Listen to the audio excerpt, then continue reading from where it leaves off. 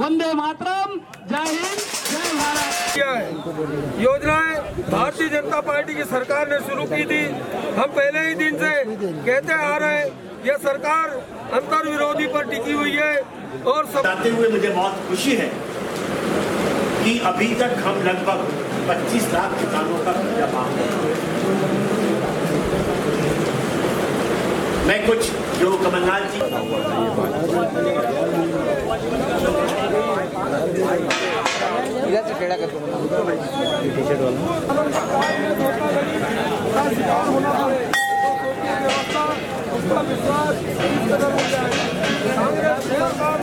केंद्र की सरकार के, केंद्र की सरकार का पिछला पाँच साल हो, अभी का कार्यकाल हो, उनसे हम ये चैलेंज करते हैं। एक भी आरोप लगा दे, नहीं तो उनके जो घोटाले हैं हम चाहे बोफर से लेकर ए से लेकर जेट तक के उनके घोटाले बता सकते हैं। वो एक घोटाला बता दे।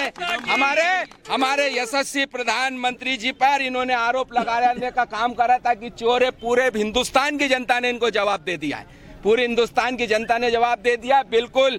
यशस्वी प्रधानमंत्री जी के नेतृत्व में जो सरकार चल रही है, पूरे हिंदुस्तान में कोई एक आरोप नहीं लगा पाया, इस प्रकार की हमारी सरकार चल रही है। लेकिन अगर ये इनके एक नौ महीने की सरकार के घोटालों की बात करें, मैं आपसे पूछना चाहता हूँ, ऐसा कोई कौन कर्मचारी है कि बगैर लिए दिए उसका ट्रांसफ़र हो गया? ट्रांसफ़र उद्योग चलाने का काम कर रहा है, प्रदेश को लूटने का काम ये कांग्रेस की सरकार कर रही है। पंद्रह साल से बीजेपी आरोप लगाया है। ने हम ये बताना चाहते हैं कि आज देश में चारों तरफ़ बदहाली की स्थिति है। आर्थिक रूप से पूरी देश के अंदर हाहाकार मचा हुआ है। बेरोजगारी चरम पर है। जीडीपी पाँच प्रतिशत से नीचे आ चुकी है। और ऐसी विषम स्थितियों में नीरो बांसुरी बजा रहा है।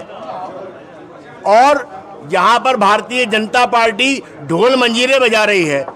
तो हमारा कहना है कि अगर आपको ढोल मंजीरे बजाना है तो केंद्र की जो सरकार सो रही है, उस सरकार को जगाने के लिए, देश को इस बदहाली से निकालने के लिए आप ढोल मंजीरे केंद्र सरकार के खिलाफ बजाएँ। मध्य प्रदेश की जो कमलनाथ जी की सरकार है, कांग्रेस पार्टी की सरकार है, वो तो 24 घंटे काम कर रही है प्रदेश के विकास के लिए, उन्नति के लिए। और हम लगातार ऐसे काम कर रहे हैं जिससे कि इस मध्य प्रदेश को हम स्वर्ण मध्य प्रदेश बनाएँ और जो देश में आज 24वें 25वें नंबर पर मध्य प्रदेश का नाम लिया जाता है, हम इसे प्रथम पंक्ति के प्रदेशों में खड़ा करना चाहते हैं। नौ महीने में ना अपराध रुका है